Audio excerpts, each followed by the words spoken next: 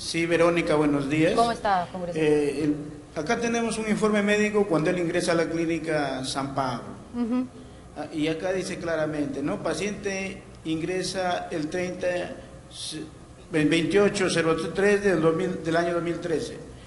Eh, fecha actual que nos dan esto es el 3007 de 2013. Bueno, paciente ingresa a servicio UCI neonatología transferido a la clínica Jesús del Norte con los diagnósticos de eh, recién nacido, grande pa- para edad gestacional, asfixia perinatal, síndrome de distrés respiratorio, Claro. deseo consumo de surfactante y lesión plexo branquial. Entonces, estas son las Características.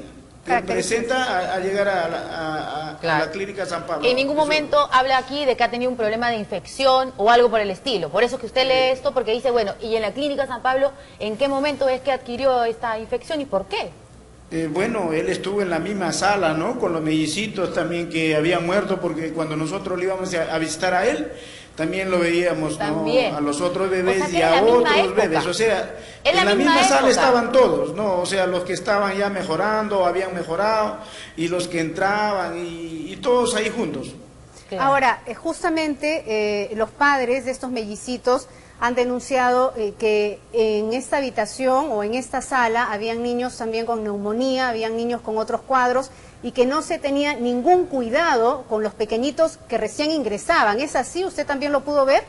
Eh, posiblemente sea así, pero acá yo tengo el informe médico del 28 del 3 del 2013, o sea, después de ocho meses y algo más, ¿no? Cuando mi hijo ya lo retiramos de la clínica San Pablo, a raíz que no había tenido absolutamente ninguna mejora, muy por lo contrario, había agravado su situación, imagínense, en ocho meses. Entonces, este informe médico, pues acá ya tiene 8, 11 puntos, ¿no? Donde eh, habría tenido peor Claro, otras enfermedades, otras deficiencias. Sí, empeoró. Y ahí sí se habla sobre infecciones. En ese ver, documento eh, de 11 vamos puntos. A, a revisar para que ustedes pueden ver, ¿no?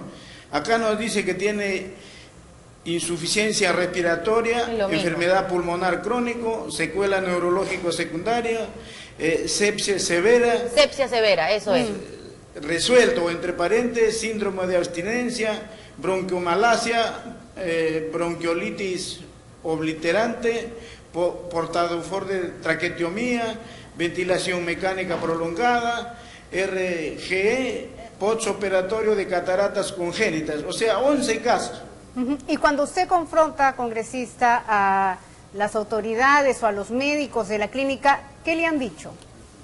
Bueno, que nos decían su clase es muy complicado, muchas veces nos dijeron que ya no había esperanzas de vida y, y que realmente no, no había mejora del bebé, ¿no? Por Pero- eso tuvimos que llevar al hospital Rebagliati y lo curioso es que cuando llega al hospital Rebagliati en- entra el día martes, pero el día jueves ya le retiran este equipo de ventila- ventilador. En cuatro días nomás mejoró el pequeño.